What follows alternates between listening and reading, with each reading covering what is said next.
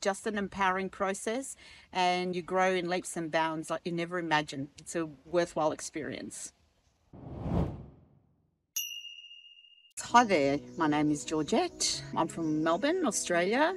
I decided to come on this retreat. I was actually looking uh, for quite a long time to come to a retreat of self reflection, something like this, for a little while. And um, I'm at the stage where my kids are all grown up, they're adults, they're working, so it was a pretty good time to come. And then the inner growth retreat came up, and I thought it's in Bali. I love Bali, I come to Bali often.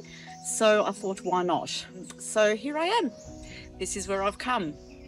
The title itself, the description inner growth, was the thing that um, made me think very deeply about what I wanted to do and um, I wasn't looking for a retreat that was just um, nicey feely, aesthetic type um, vibes.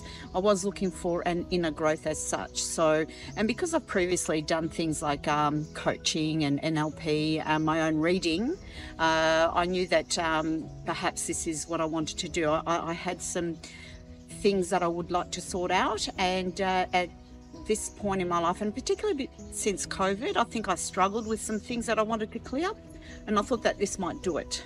There's a lot more value in the retreat than um, we are led to believe, really, because just by reading uh, a schedule, didn't explain to the depth that we would dive into. So I found it very confronting on some days, not all the days, because there's a lot of lightness and um, beautiful uh, workshops that we do. Uh, but challenging in the sense that we had to delve deep into our um, emotions that we came here to deal with, which is anger, fear, um, sadness, that sort of thing. So for me, it was very valuable because I gained insights into what was really important and going on. So definitely exceeded my expectation. The other way that it exceeded my expectation was the people that I met, the friendships.